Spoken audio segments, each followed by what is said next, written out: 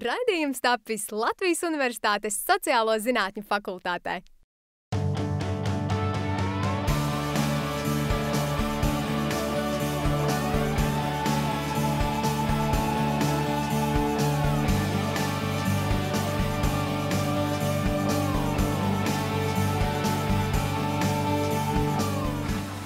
Labdien, skatītāji! Klāt ir ceturtdiena, un mēs atgriežamies jūsu ekrānos gan YouTube, gan RTV kanālā. Šobrīd atrodamies Ziemeļblāzes parkā. Mani sauc Simona Ozoliņa. Un es esmu Raitis Bērziņš. Bet pirms mēs sākam, vēlamies pateikt milzīgi paldies tiem, kuri sūtīja savus atsauksmes un ierosinājumus mūsu sociālajos portālos un e-pastā. Tas mums rada divu tik lielu sparu turpināt strādāt un veidot sižets. Bet šajā rēdījumā redzēsiet, Balss kā darba instruments un ienākuma avots, laika prognoze, mīts vai patiesība, un kur vasarā vislabāk braukt džumīt.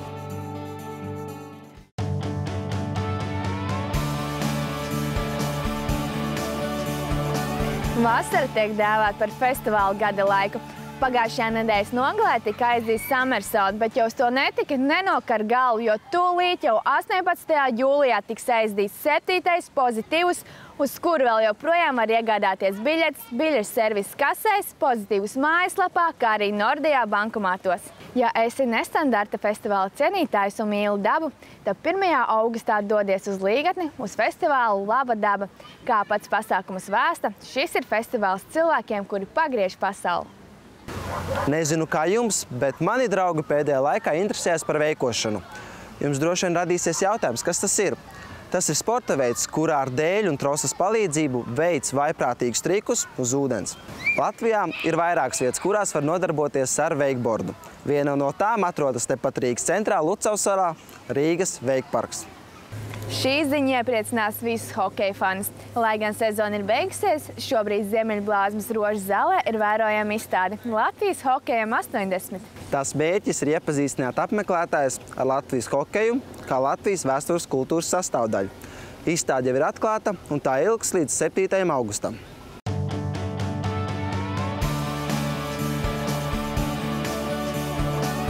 Balss ir pavisam ikdienišķa sastāvdaļa. Ar tās palīdzību mēs komunicējam, nododam informāciju vai pasakam kādu labu vārdu. Bet ir cilvēki, kuri savu balsi ir attīstījuši tik tālu, ka ikdienā ar to var pelnīt savu iztiku. Nozeres, kurās balss ir kā darba instruments, ir gan radio un reklāmas industrija. Kivī devās aplūkot, kas slēpjas aiz šīm spēcīgajām balsīm. Balss. Kas ir balss? Kaut kas tik ļoti pierasts, taču reizē ļoti unikāls. Dažiem tā ir iespēja radoši izpausties, taču citiem tas ir galvenais darba instruments. Kādas ir balss īpatnības un kas ir jādara, lai tevī ieklausītos? Raidījums Kivī to noskaidroja tiekoties ar radio cilvēkiem Jāni Romanovski un Valdi Melderi, kā arī aktieri un populāro reklāmu ierunātāju Arti Robežnieku. Radio stāra Fembals Jānis Romanovskis atzīst, ka radio ir ikdiena, taču vēl papildus viņa balsi var sadzirdēt arī viesat Sporta Baltika kanālā un atsevišķos televīzijas raidījumos. Radio saglabājas šī intimitāte un kaut kāds mazliet noslēpuma plīvurs, un tāpēc es mazliet esmu, uh, varbūt tāds old schools, bet uh, kamēr pretinieks uh, radio studijās, jo Radio jau nav jārāda, radio ir jāklausās. Un radio, vismaz manā bērnībā, ļoti ilgi dzīvoja mistiski tajā kastītē ar, ar, ar tumbām. Tās bija balsis, kas runā no turienes, un tu esi šajā pusē. Un, protams, tu vienmēr to ilustrēji galvā, kā tas notiek otrā pusē. Un tas, tas bija tas šarms. 10 un 50, nē, 10 un 15 minūtes. Krastais Damijas radios konto ēterā. Radio skonto ētera balss Valdis Melderis uzskata, ka radio var pasauli padarīt labāku. Tu neko nevari nevienam, nevienam iestāstīt, tu nevienu nevar piečakarēt. Jā. Cilvēks tev redz cauri, nu, viņš jūt, ka tu kaut kā apzināti izmanto savu balsi. Nu, runā tā, kā tu runā. Jo pats svarīgākais, ja cilvēks tev uzticās, ja viņš tic tam, ko tu saki, ir pilnīgi vienalga, kādā balsī tu runā. Ir pilnīgi vienalga, kādā valodā tu runā. Ir pat reizēm pilnīgi vienalga, ko tu saki. Svarīgākais, lai, lai viņš tic tam, ko tu saki, lai viņš tev uzticās. Nu, tā kā, ja tu ar savu balsi vari izraisīt uzticēšanos, nu, tad var teikt, ka jā, balss ir svarīga. Aktieris Artis Robežnieks papildus teātrim ne tikai ir ierunājis reklāmas, bet arī filmas. Ļoti bieži vien ir liels pārsteigums ieraugot balss īpašnieku pēc skata, kāds viņš izskatās. Jo tu esi pieradis pie balss un apmēram nu, pēc tembra un pēc visu iedomājies, kāds viņš izskatās. Vai nu, labi neiedomājies, tur automātiski veidojās kaut kāda. Uh, tas tēls vizuālais, dzirdot balsi un ieraugot mm, dabā, bieži vien tas nesakrīt. Tāpēc, ka balss varbūt gluži neraksturo precīzi. Vai pēc skata tas cilvēks izskatās savādāk nekā tas iedomājies. Tas, ko māca aktieriem, tas droši vien nedara radio, jo radio mēs maksimāli mēģinām runāt dabiski. Dabiski, bet tajā pašā laikā ieturēt kaut kādus standartus, ja, lai tā nebūtu ielas vai pagāma valoda, lai tā būtu tomēr radio mm, valoda, bet tajā pašā laikā tā ļoti tuvu klausītājiem, nu, teiksim, neuzspēlējot, ja, varbūt artikulējot kaut kādas zilbas, skaņas, varbūt, teiksim, paspēlējoties ar intonācijām, bet tā maksimāli dabīgi. Svarīgi, lai cilvēks runā savā balsī. Vai nav tas? And now, my ladies and gentlemen, please welcome the Radio Skanto. Visas trīs aizkadra slavenības uzskata, ka īpaši ir tieši tas, ka katra balss ir atšķirīga. Vairāk vai mazāk, tomēr, vai nu tev tā balss ir vai nav. Un, ja daudz runā, tad, tad tu iemācies parasti viņu lietot. Bet tā, es nezinu, nu, droši vien, ka var mākslīgi iemācīties pareizi viņu vadīt, likt pareizos uzsvars un tā tālāk, bet, bet lielākoties tev jāstrādā ar to, kas ir. Un ir cilvēki, kuriem ir ļoti lielisks balss, un viņi nezina, ko ar viņu iesākt. Un ir cilvēki, kuriem nav tik labs balss, un viņi ir brīnišķīgi runātāji. Tā kā balss nav izšķiroša. Pamatā jau izmanto to, kas tev ir. Un ar to tu arī esi vērtīgs. Domāju, ka Latvijā ir ļoti daudz labas balss. Ja mēs paklausāmies apkārt, nu, tās pašas reklāmas, ja, mēs jau nedzirdam. Nu, daudz tādas balss, kas neatbilst radio reklāmu ierunāšanai vai, radio, vai, vai, vai, vai televīzijas raidījumam, jā, aizkatra balss. Tas viss parasti ir tās, kuras mēs klausāmies ar zināmu baudu. Jā. Katrā ir kaut kas īpašs. Balsts nav ne labas, ne sliktas, viņas vienkārši ir uh, atšķirīgas. Nu, viņi ar kaut ko atšķiras, bet tā kā laba. Jo ir cilvēki, kuriem patīk viena tipa balss, un ir cilvēki, kuriem patīk cita tipa balss. Balss jau lielāko daļu mums ieliek. Droši vien tur no augšas jau piedzimstot. Uzzinot par laika posmu, kurā sižeta balsis darbojas savā sfērā, ir skaidrs, ka tas jau ir kļuvis par dzīvesveidu. Radio strādāja nu jau kaut kādus gadus, 16, 17, manuprāt, no 15 gadu vecuma. O, tūlīt būs 18 gadu radio eterā. Un pa tiem gadiem es esmu noķēris to radio burvības sajūtu. Apmēram būs 15 gadi. Kādi 15 gadi varētu būt? Kad tu, nu, nu, jā. Es, Kārlis Malkaus, Elita Mārga, strādā šeit jau 20 gadus. Ir vesela paudze izaugusi ar radios konto konkrētajām balsīm. Rīta Paula, man kolēģi, strādā tikai 16 gadus. Nu, tad loģiski, tu no rīta pamosties un tur ir tavs ģimenes loceklis ēterā, vai ne? Nu, tur. Un reizēm cilvēki saka tā, ka mēs aizējām atvaļinājumā, un viņš, viņš saka, es no rīta iznāku virtuvē, kā parasti apenēs, vai ne? Un pēkšņi tur runā kāds svešs cilvēks, un es pilnīgi instinktīvi piesadzos, vai ne?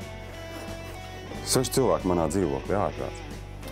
Bet tā viņi mūs uztver reāli par savējiem. Bet tā, nu, tā balss ir pilnīgi kļūst par daļu no tavas dzīves. Es nepīpēju. Jo, ja tu pīpē un sāc dzert pastiprinātu viskiju, tad tev parādās tāda, tāda sausa, sausa whisky voice saucamais. Ja? Nu, tu tādu vari izkopt, protams, ja tu gribi, bet, bet es teiktu, pats svarīgākais izklausīties dabīgi. Nu, kāda ir tā balss tādā runā? Jo, tu, protams, ka tu vari trenēt tās zemās frekvences. Tagad. Ne, viņas nevienmēr dara, piemēram, lielveikalā labāk izmantot sieviešu balsis vai griezīgi nazāls vīriešu balsis. Lai var cauri fonam dzirdēt to, ko tu saki, nevis, ka tur viens fonā kaut ko bubina un tu neko nesaproti. 7-8 minūtes no mājas uz darbu katru reizi veicu un urājot pie sevis. Tā, mm, un tad arī iesilda tās balss saites, lai tas pirmais iegājiens radio ēterā būtu tā, kas skan. Ar praksi uzkrājās teiksim, tā pieredze un tās iemaņas. Un, nekādus īpašus treniņus tu tur nevari. Nē, nu var. Nu, pēc principa trenēt muti un dikcija tev nekad nenāks pa ļaunu, ja tu gribēsi kaut ko tādu darīt. Nu, piemēram, Anatolijas Kreipāns. Uh, viņam, viņam ir brīnišķīgas zināšanas. Viņš ir superīgākais, ģeniālākais sporta komentētājs, kāds Latvijā ir bijis. Es domāju, pēc, pēc, pēc Jakobsona, pēc Gunāra Jakobsona. Bet, Bet balsī tajā brīdī pat nav nozīmes. Ja? Jo svarīgi, svarīgi tas, ka tu viņu dzirdi cauri tai, tai spēle, tam spēles troksnim. Ir svarīgi tas, ko viņš saka, svarīgi humora izjūta. Un tu tajā brīdī pat neaizdomājies par balsi. Pat balsi cilvēki aizdomājās tajā brīdī, kad viņu, ka viņu neaizskar vairs teiktais, intonācija un saturs. Tad viņš sāk piekasīties balsī.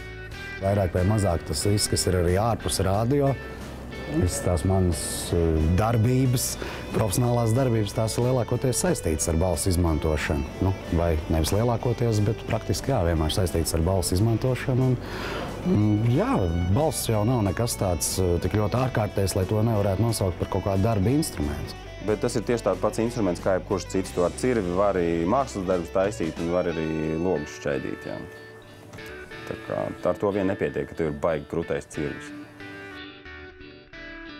Skatieties jauno Kiwi epizodi!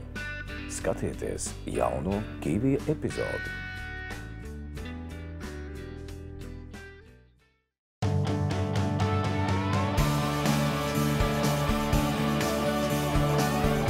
Ir teiciens, nav sliktu laikapstākļu, bet ir nepiemērots apģērbs. To mēs varam attiecināt uz vasaras sākumu, kad īsās kleitiņas un šortus nācās novietot atpakaļ skāpja dziļākajos plauktos. Jā, vilšanās jau bija diezgan liela, jo sinaptiķi taču solīja brangu tropisku karstumu, kas izskatās šodien ir pienācis. Mēs vēlējāmies palūkoties sinaptiķu darbā un pajautāt, kādēļ reizēm laika prognozes ir maldinošas. Ar laika ziņām, kā ar bitēm, nekad neko nevar zināt. Maijā Latvijas iedzīvotājiem tika solīta karsta un saulaina vasara visu trīs mēnešu garumā. Nu jau ir jūlija vidus, bet ilgi gaidītā un solītā vasaras tveice ieradusies pavisam nesen, un arī tagad tā brīžiem mīs ar vēsu laiku. It kā jau viss kārtībā, tikai rodas neskaitāmi jautājumi un pretrunas par to, vai ir vērts sekot līdzi sinoptiķu darbam un uzticēties laika prognozēm, ja jau tās mūs tik bieži pieviļ. Devāmies Rīgas ielās, lai noskaidrotu, ko cilvēki domā un zina par laika prognozēšanu. Vai viņi uzticas laika ziņām?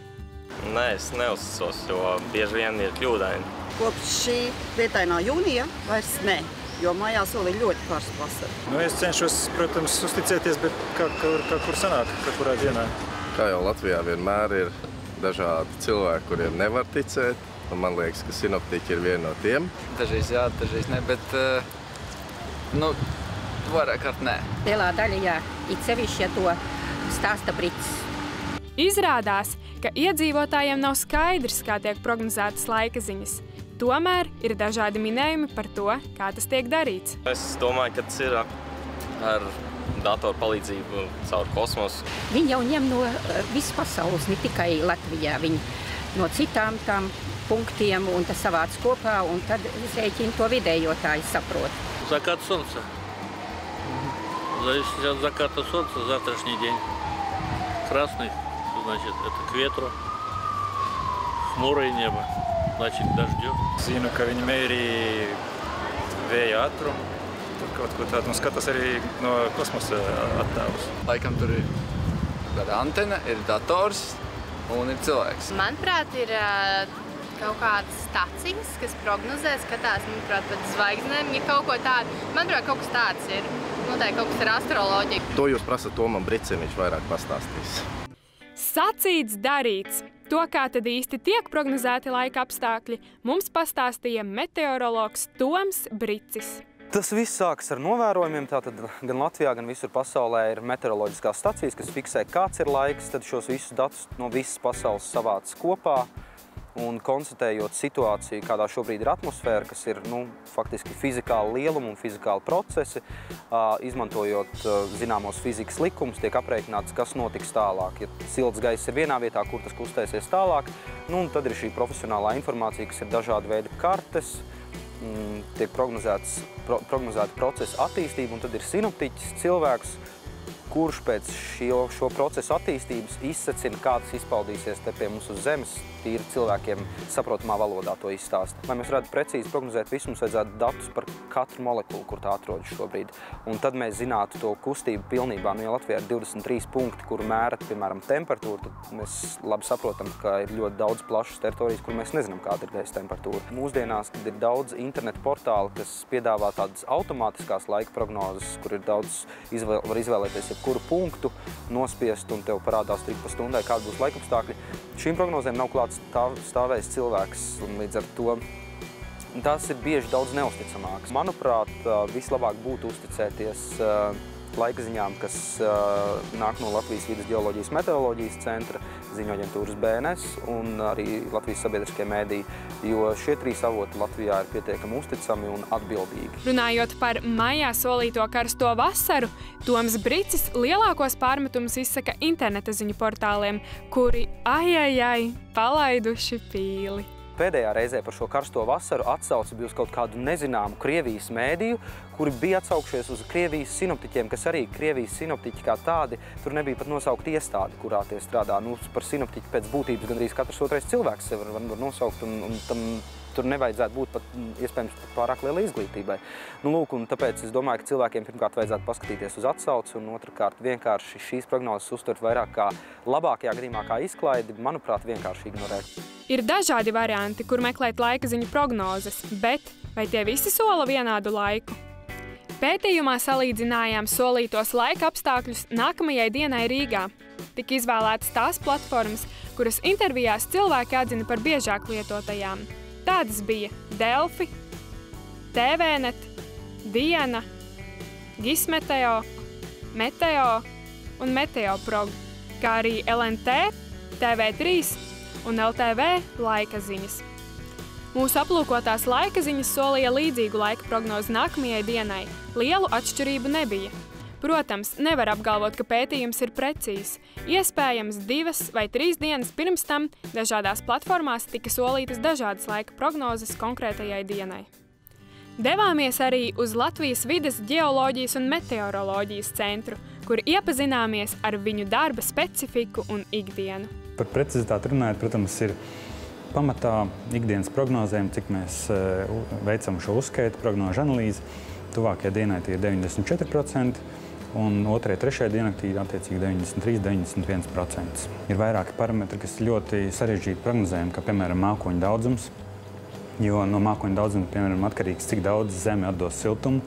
Varbūt tā, ka kaut vai Latvijas mērogā ir bijis gadījums, ka, piemēram, vasarā gulbeni un alūksni. Tas ir nepārāk tālu atrodas šīs vietas, kur mums meteostacijas un gaisa temperatūra starpība ir 10-12 grādi. Ja runa par laika prognozēm, cilvēkiem jāatcerās, ka laika prognoze tas ir tikai iespējamais procesa scenārijs. Es savā mūža laikā nepiedzīvošu to brīdi, ka mēs tiešām varēsim perfekti noprognozēt kaut vai tuvākajām trijām dienām. Es domāju, ka tas vēl ir tāls ceļš ejams. Cilvēku viedokļi par laika prognozēšanu ir dažādi. Tomēr nebūsim pārāk skeptiski un atcerēsimies, ka sinoptiķu darba mērķis ir nevis mūs apmānīt, bet gan palīdzēt. Plānosim brīvdienas tad, kad sinoptiķi sola saulainu un skaistu laiku, bet, ja šie solījumi nepiepildās, baudīsim dzīvi tādu, kāda tā ir.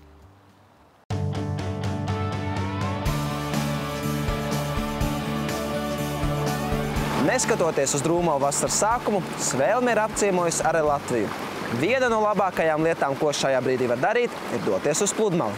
Lai nenodarītu kaitējumu savai veselībai vai pat dzīvībai, ir svarīgi izvēlēties drošs ūdens tilpnes.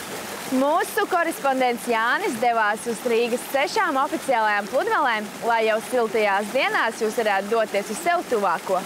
Lai gan vasarā mūs ar stabilu siltumu nelutina, Tomēr ir dienas, kad termometra stabiņš uzkāp līdz pat 28 vai pat vairāk grādiem. Cilvēki meklē veldzējumu ūdens tuvumā. Raidījums Kīvī devās aplūkot visas sešas Rīgas oficiālās peldvietas, lai jūs varētu izvēlēties sev tīkamāko. Latvijā ir 54 oficiāli atzītas peldvietas, kuras izveidotas un apsaimniekotas atbilstoši higiēnas un drošības prasībām. To uzraudzību veids kompetences iestādes, un tās ir iekļautas ministru kabineta noteikumos. Peldvieta Rumbula Daugavas labajā krastā ir viena no trim peldvietām, kura šogad ir ieguvusi oficiālās peldvietas statusu.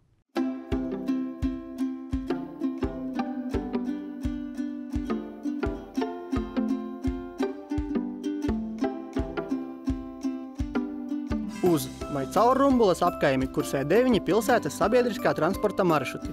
Tomēr no pieturas līdz peldvietai aptuveni puskilometrs būs jāmēro kājām. Ērta piekļūšana peldvietai ir velo cienītājiem, jo gar peldvietu ir ierīkots veloceliņš.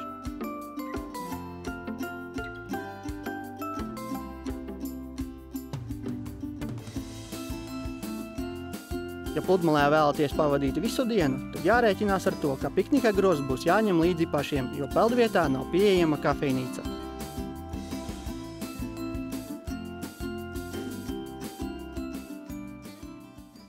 Vecāķu pludmale tiek uzskatīta par vienu no populārākajām Rīgas pilsētas pludmalēm, kur karstajās vasaras dienās cilvēki var baudīt sauli, jūru un smilšu liedegu.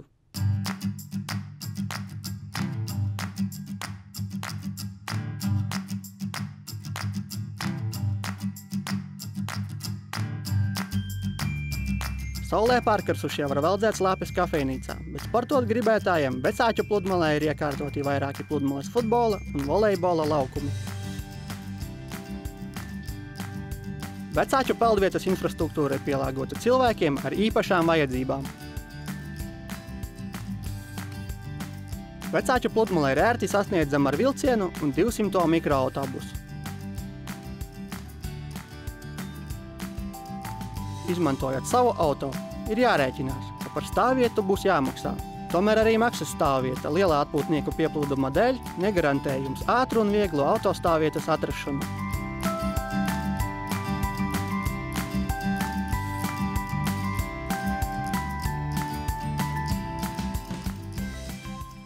Kartē aplūkojot Bābelītes ezera atrašanās vietu, var secināt, ka visvieglākais veids tam piekļūt ir izmantojot auto.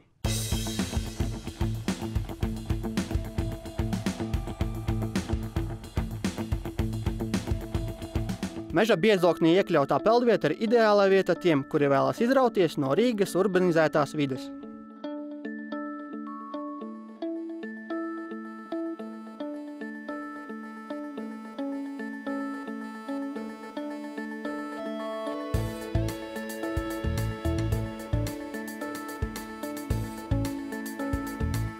Šajā ezerā ir vairākas peldēšanās zonas. Viena ir tā, kurā es atrodos šobrīd, un vēl viena ir tieši man pāri plecam.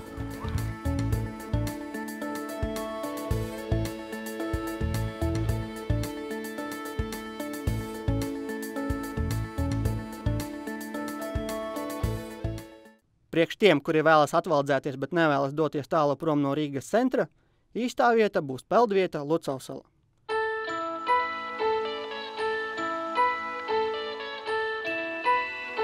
Lucavsala. Tas ir vesels atpūtas parks. Labi iekārtota pludmale, volejbola laukumi, plašie rotaļu laukumi bērniem. Tas viss. Pārsimts metrus no Rīgas centra.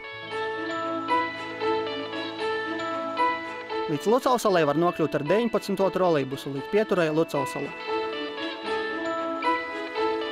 Ar autobusu jābrauc līdz salu tiltam Mūkusalas ielas aplim. Tad iebraukšana uz Lucausalu, gar nesta benzīntanku un kā rauta, un galā pa kreisi līdz jaunajam parkam. Daugaugrīvas pludmalē ierodamies brīdī, kad lielākā daļa atpūtnieku jau dodas mājās. Ja vēlaties izmantot sabiedrisko transportu, tad līdz Daugaugrīvas pludmalē no Rīgas centra var nokļūt ar trešā maršruta autobusu līdz galapunktam Bolderāja. Tie, kuri uz pludmali ir ieradušies ar savu auto, to varēs atstāt speciāli izveidotā bezmaksas stāvvietā. No autostāvvietas līdz pludmalei ar kājām būs jāmēro aptuveni kilometru garš ceļš cauri Daugaugrīvas dabas liegumam.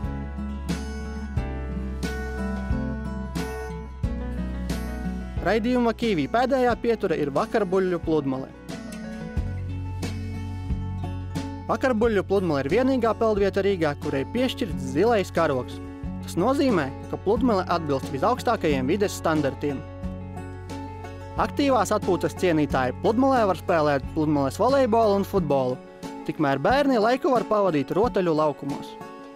Ja uz peldvietu būsiet ieradies ar savu auto, tad jārēķinās ar to, ka par autostāvvietu būs jāmaksā. Mēs jums parādījām sešas oficiālās Rīgas peldvietas. Uz kuru no tām doties, tas lai paliek jūsu ziņā. Bet ir svarīgi, neaizmirstiet par drošību peldoties. Un tad jau tiksimies Rīgas peldvietās.